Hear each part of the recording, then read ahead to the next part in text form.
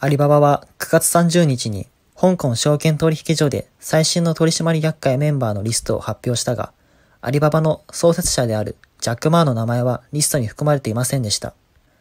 同発表によると、アリババの新しい取締役会メンバーには、超優、蔡通信、ブエイ、マイケル・エヴァンス、イケントカビール・ミスラのほか、獲得名と統計家を含む5人の独立した取締役が含まれます。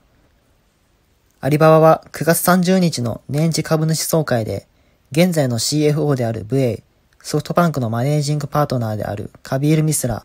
及びモトローラシステムズのシニアコンサルタントである獲得名をそれぞれ会社第3組の取締役に抜擢しました。新しい取締役会リストにはジャック・マーの名前はありませんでした。関係筋によると、ジャック・マーはアリババの取締役や経営の問題には直接関与していませんが、アリババのパートナーズです。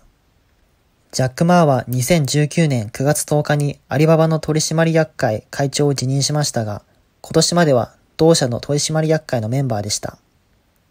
公開情報によると、ジャック・マーは昨年11月26日から今年上半期にかけてアリババの株式の少なくとも20%を売却し、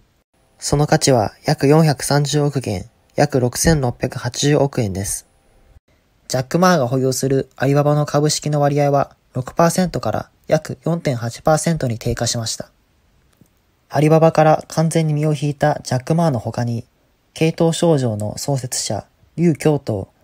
レノボグループの創設者、劉電子、